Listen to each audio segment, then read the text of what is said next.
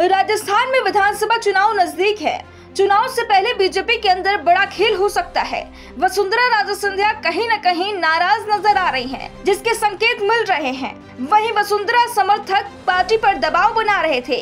उन्हें सीएम उम्मीदवार घोषित किया जाए लेकिन पार्टी ने सीएम उम्मीदवार बनाना तो दूर विधानसभा चुनाव में बना रही कमेटी में जगह नहीं दी। कयास लगाए जा रहे हैं कि राजस्थान में वसुंधरा को बीजेपी सीएम उम्मीदवार घोषित नहीं करेगी।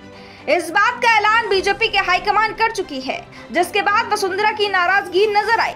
वसुंधरा राजे बीजेपी से बगावत कर सकती हैं, ऐसा नज़र आ रहा है। गौरव गोगोई से वसुंधरा की मुलाकात कहीं न कहीं ईश्वर इशारा करती है। कांग्रेस सांसद गौरव गोगोई के साथ वसुंधरा मीटिंग में नज़र आई थी। हालाँकि दोनों नेताओं के बीच क्या बात हुई, ये सामने नहीं आया।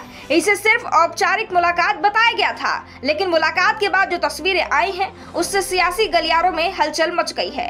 तस्वीरों से बड़ा संकेत दिखाई दिया। इस बैठक के बाद ये चर्चा होने लगी। वसुंधरा बीजेपी छोड़ कांग्रेस का दामन थाम सकती है। बता दें वसुंधरा राजे सिंधिया लगातार मुख्यमंत्री के चेहरे के रूप में पेश होती रही हैं, लेकिन इस बार राजे के साथ अनदेखी कर रही है बीजेपी। राजस्थान से परिवर्तन यात्रा निकाली गई। कहा गया कि पहली परिवर्तन यात्रा जो सवाई माधोपुर से शुरू होने वाली थी, उसकी कमान उन्हें सौंपी जानी थी। लेकिन ऐसा नहीं हुआ। बाद में पार्टी ने साफ़ कर दिया कि यात्रा किसी एक नेता के नेतृत्व में नहीं निकाली जाएगी, बल्कि सामूहिक नेतृत्व में निकाली जाएगी।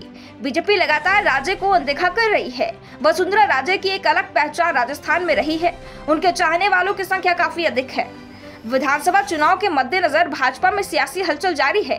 परिवर्तन यात्राओं की रवानगी के बाद बुधवार को पूर्व मुख्यमंत्री वसुंधरा राजे ने भाजपा मुख्यालय पर पहुंचकर सबको चौंका दिया। राजे पार्टी मुख्यालय में न केवल तीन घंटे तक रही, बल्कि उन्होंने भाजपा प्रदेश अध्यक्ष सीपी जोशी, प्रदेश प्रभारी अरुण सिंह, प्रदेश संगठन महामंत्री चंद्रशेखर के साथ लंबी चर्चा भी की। पार्टी सूत्रों की माने तो इस बैठक में परिवर्तन यात्रा के दौरान सभाओं में वक्ताओं को लेकर चर्चा हुई। इसके साथ ही 25 से 30 सीटों पर संभावित उम्मीदवारों के नाम पर भी प्रारंभिक चर्चा की बात कही जा रही है।